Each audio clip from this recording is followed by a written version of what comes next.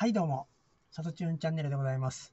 今日はパソコンのウェブカメラで取って出し動画でございます。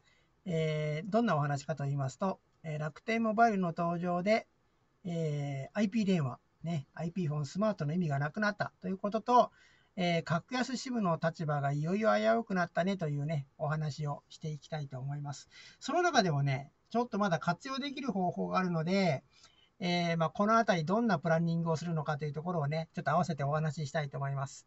まあ、まずね、一番致命的なのは、あ僕はこれまでですね、えっ、と、おすすめしてきた、えーフュージョン IP フォンスマートかな？楽天スマートークか。名前ちょっと変わったんですよね。はい。それがね、もう意味なくなったなっていうところ。これはね、もう決定ですね。あのーまあ、ご存知の通りです。えっ、とね、あの、楽天モバイルが1ギガまで0円プランを登場させました。まあ、これは、まあ、データ通信量は1ギガまで。でも、えっ、と、電話、それから SMS、これはね、無料なんですよ。0円。はい。とんでもないプランを登場させたのでね、もう格安 SIM 業界はもう激震が走りました。もう価格競争の時点ではね、もう格安 SIM の負けがほぼ決定していると言っても過言ではないと思います。で、その一方でですね、3ギガを使え、3ギガまでは980円となるわけですね。楽天モバイルは。1ギガ超えて、3ギガまでは980円。これでもね、やっぱりこの無料通話なので、価格的なところでいけば、まあ負けは決定なんですよ。まあただ、唯一負けてるのが通信品質ですよね。まだあの、楽天モバイルっていうのはエリアがまだ全然広がってないですし、まああの、パートナーエリアを使うというところで5ギガまでか。あってことなので、ちょっとまたそのあたり、通信品質の面ではちょっとまだまだ負けてはいます。ただね、価格から見ると我慢できる範囲ではありますけどね。うん。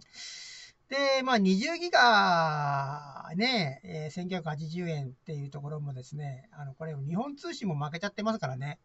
うん。ってなわけで、えーこのまあ楽天モバイルのこの新しいプランで、もう格安 SIM 業界は終わりだよ、みたいな感じにね、えーなってますね。で、まあちょっと冒頭でお話しした、あの、IP 電話サービスね。僕がもう本当これまでね、スマホの0円運用で IP 電話、ね、スマートーク、いいよ、みたいな感じで進めてきましたけども、これもとりあえず終了です。なんせですね、IP フォンスマートの弱点は、通話料が30秒8.8円かかります。でも、楽天はかからない。なおかつ、SMS がついてて、一応1ギガまでだったら0円で使えるんで、これはもうとてもじゃないけど、勝ち目なしということですね。長い間ご苦労様でした。はい。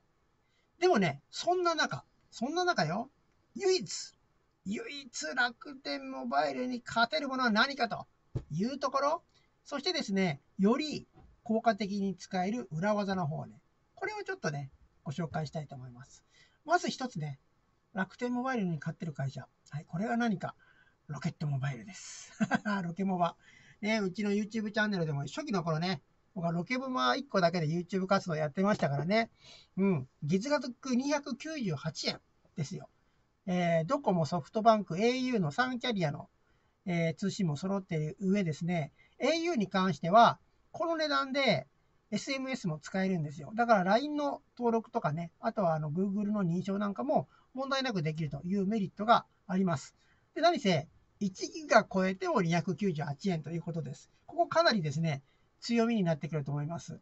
まあ、通信速度はね、200kbps の低速ではありますけれども、まあ、これがあればとりあえず外出先とかね、Wi-Fi がないところでもデータ量を気にすることなく、まあ、このデータ通信ね、まあ、LINE 見たり、Twitter やったり、うまくいったら YouTube が低画質で見れるかなぐらいのことはね、ラジオ配信とかだったらいけるのかなうん。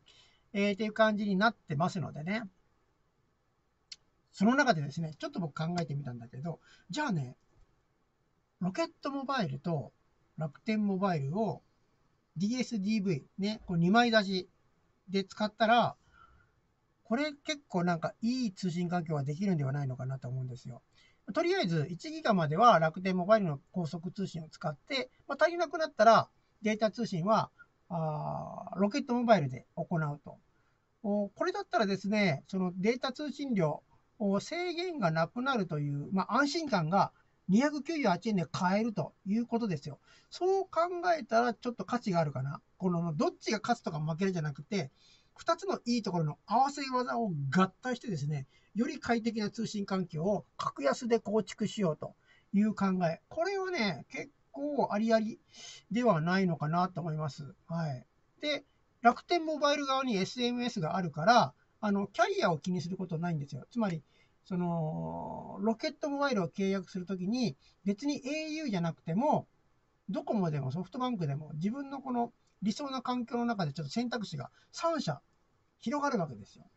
で、プラス、楽天モバイルの0円運用で、どちらのメリットも活かすことができる。これはなかなかいいアイデアではないでしょうか。ね。まあ多分これ、感づいてる人もいるかもしれんね。うん。もう一つね、対抗できるのは、僕は実は OCN モバイル1だと思います。はい。え？なんでって思いますよね。あっちはまあ月額1180円ですけども、値段が全然楽天モバイルより高いとなってますけども、メリットあります。それはね、何かというと、端末を安く買えるってことです。その機種がね、幅広く選べるというところなんですよ。はい。あの、楽天モバイルも、うん、まあありますね。時々セールやってるけど、ちょっと機種が少ないかな。まあ楽天対応っていうのはいいんだけど、ちょっと機種が少ないのとめんどくさいなーっていうところがあるので、あの、とりあえず OCL モバイル1のセールの時に安くスマホを買っとく。その時にですね、楽天モバイルも使えるスマホを選んでおくということです。まあ結構1円でもそういうスマホ結構ありますからね。僕この間買ったシャオミのこいつね、レズミノート 9S、バッチリ楽天、あの、使えます。使えております。で、これでも0円運用やろうかと思ってます。この本体1円でね、買ってますからね。ちなみにこのね、えー、これを購入するときに買った SIM はどうしてるかというと、母親に渡しました。母親に渡して今ね、使っております。はい。えー、まあ、なのでですね、えー、こういう、この合わせ技ですね、合体してですね、ちょっとお得に運用するというのはね、ちょっとありかなというふうに思いました。はい。まあ、てな感じでね、もはや、あ格安 SIM がキャリアに対応するってことは、対抗するってことは、まあ、できる。全然できる。それは、ただし、ドコモ、アハモ、えっ、ー、と、ポボ、えー、ソフトバンクオンライン。この3つには、まだまだ格安 SIM が入っていく余地はありますけども、この楽天に関しては、普通に契約しただけではお得ではない、えー、ということ。これがね、今、今現状、まあ、ほぼ決定になりました。でもね、こうやってね、いろいろこの抜け道を考えて、あれこれとね、あの、お得なものをこう見つけ出すっていうのは、なんかちょっとね、この、ガジェット好きにとってはちょっと面白いのかなと思いました。あの、もちろんね、使い方はね、人によって様々ですし、その皆さんにもね、あの、ちょっとまあ、どれがベストかっていうのはちょっと人によってね、え、これはね、違ってくると思うんですよ。だからですね、皆さん自身もね、いや、自分だったら、まあ、里中はこう言ってるけどね、自分だったらね、こんな風にするよっていうアイディアとか、いろいろあるかと思いますけどもね、また皆さんもいろいろ、えー、研究してみるといいかなと思います。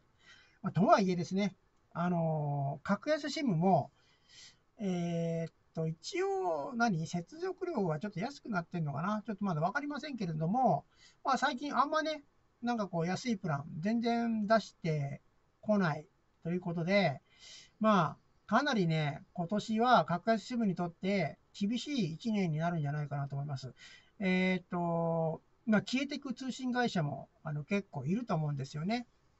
なので、まあ、対抗するとすれば、何か他のサービスと合わせるとかね、例えば電力会社だったら、うちの電力会社を契約すれば、このスマホ代はこれだけ安くなりますよとかさ、あまあ、そういう生き方でやっていく。もしくは今言ったね、楽天モバイルと組み合わせてね、あの、運用していくと。だからね、楽天モバイルの弱点を補う SIM が出てくるんじゃない？あなんかそういうのを面白そうだなと思う。とにかく、あの、格安新聞の通信会社さんはね、いろいろ、まあ、アイデアとか実行力とか持ってるんで、なんかそんなね、面白いプランが今後出てくるんじゃないかなと、えー、密かに期待しております。はい。ってな感じかな。というわけで今回は楽天モバイルの登場で、えー、IP4 スマートの意味がなくなったよというお話でした。